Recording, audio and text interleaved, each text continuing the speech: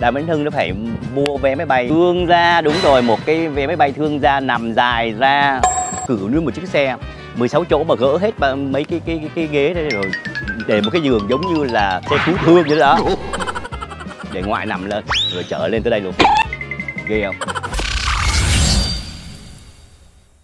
Hello mọi người.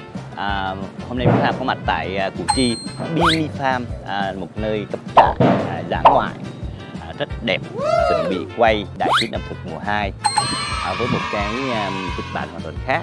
Và Vũ Hà rất là hồi hộp bởi vì đợt này nó sẽ có nhiều điều bất ngờ. Ngoài là đợt này là đang ở bên Mỹ nhưng mà phải bay về. Đàm minh Hưng nó phải mua vé máy bay mà à, cái gì cái gì cái gì cái gì mà nằm ấy.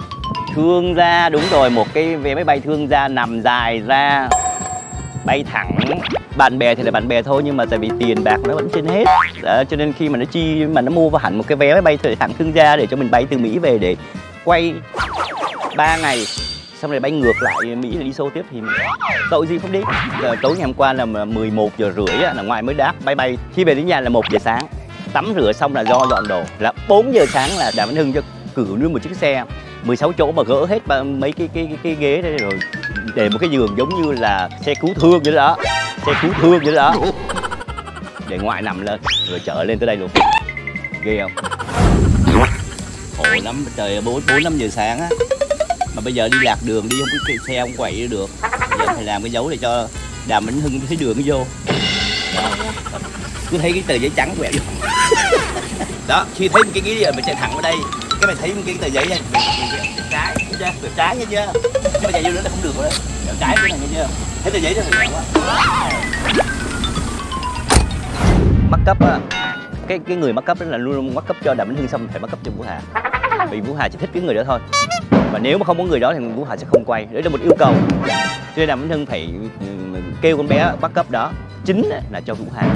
Còn đàm vĩnh hưng là giống như mắc cấp ké thôi. Đó. Bây giờ là 6 giờ sáng em có tại điểm ờ, không có mắc cấp. Tự mắc cấp. Trời ơi bay ơi bay. Làm sao vậy? Khổ lắm quý vị ơi. Quay thì không có bao nhiêu tiền cả.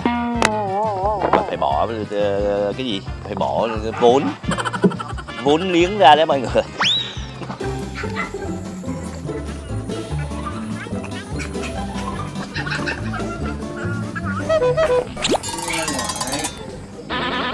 trời ơi là trời.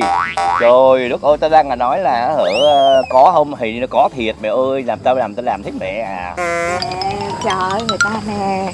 Ta chuẩn bị này nọ này kia rồi. Tao đâu có biết mày có cái vụ này nữa đâu. Tao đâu có nghĩ Mà nó đem theo mày theo hiểu chưa? Phải tự làm chứ. Quý vị thấy không? Nếu mà em không làm mặt có phải cái mặt em nó như cũng quỷ không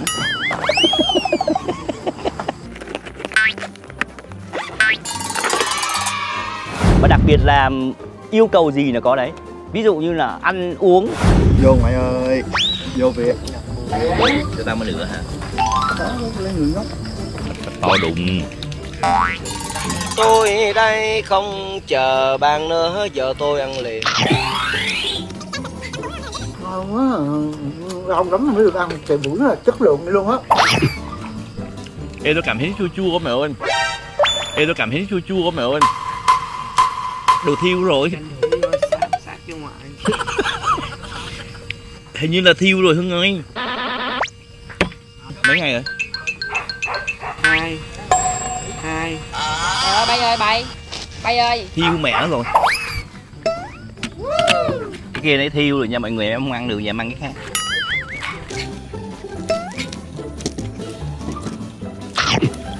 Bây giờ là mọi người chưa đến đông đủ á, cho nên em phải tranh thủ em ăn trước thì em sẽ ra cái set quay đầu tiên. Để em là người nhẹ bóng vía, Quay rất là nhanh, Để cho nó trôi chạy Quay cho hai, ba giờ thì sẽ không phải về ra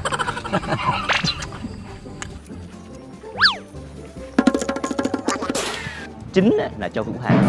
Còn Đàm Vĩnh Hưng là giống như bắt cấp ké thôi. đó.